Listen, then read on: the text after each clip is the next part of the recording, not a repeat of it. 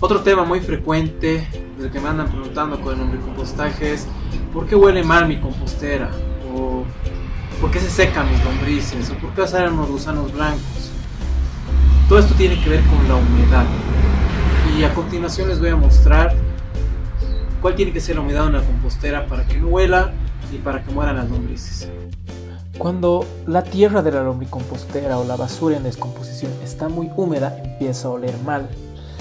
Y me doy cuenta que está muy húmeda cuando yo la aprieto y gotea, caen varias gotas, ¿no? De lo contrario, si la humedad es adecuada, la basura sí se ve oscura y se siente húmeda, pero cuando uno la aprieta, puede caer una gota, pero no cae un chorro. Si la compostera está muy seca, no se siente húmeda al tacto y tiene un color más claro.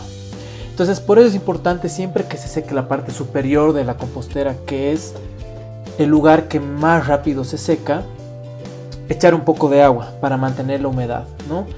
Y recuerden siempre tapar los residuos de basura con la tierra ya descompuesta, el humus ya descompuesto, para que las moscas no invadan la compostera. Más información sobre cómo manejar las moscas está en el video que voy a dejar en la carta que aparece en la parte superior del video. Si no hay suficiente humus descompuesto en la compostera, se puede aumentar un poco de tierra de jardín sobre la basura descubierta. Otra vez, para impedir que las moscas invadan la compostera y todo se llene de moscas. También es importante cubrir la compostera con algún tipo de fibra que no sea fermentable como papel picado, papel entero, hojarasca, etc. Más información en el mismo video, en el cual les voy a dejar una cartilla en la parte superior del video y también el link en la descripción. Humedecer. El papel que está encima ayuda a que la parte superior de la compostera no se seque tan rápido porque esa fibra, ese papel, esa hojarasca absorbe humedad. Entonces ayuda a conservar mucho mejor la humedad en la compostera. Aunque no es obligatorio, sí se recomienda mucho picar la basura lo más posible antes de ponerla en la lombricompostera.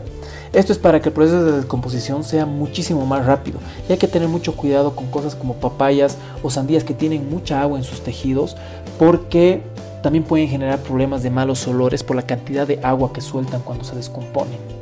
En estos casos no se recomienda aumentar tanta agua en la compostera y esperar a que sean la papaya o la sandía las que aumenten la cantidad de agua en nuestro lombricompostaje. Y no olviden que sea picada o no la basura, siempre tienen que taparla con tierra, con humus descompuesto y encima una capa de papel periódico, papel, hojarasca, cuando la lombricomposta está muy húmeda, empieza a generar malos olores, lixiviados y cosas que no queremos en nuestra casa. Obviamente si uno está en el campo, tiene un jardín grande, no es malo que haya exceso de humedad, las lombrices no se van a morir, pero sí van a haber problemas de olores. Si la compostera está dentro de casa o en un lugar muy cerrado, queremos evitar eso. Entonces por eso necesitamos la cantidad adecuada de humedad. Si a la compostera le falta humedad, el proceso del lombricompostaje se detiene y no obtenemos nuestro producto que es vermicompost. Entonces, bien importante saber manejar la humedad a la cantidad adecuada. Uno tiene que tocar la tierra y tiene que estar húmeda, pero no tiene que estar empapada ni goteando. Cuando uno agarra humus o basura en descomposición en la compostera, sí tiene que estar húmeda pero si uno la aprieta no tiene que chorrear agua, tiene, pueden caer unas cuantas gotas, ¿sí? No tiene que estar empapada porque eso le quita el oxígeno a la composta y empieza a hacer que huela mal. Crack, bienestar para ti, salud para el planeta.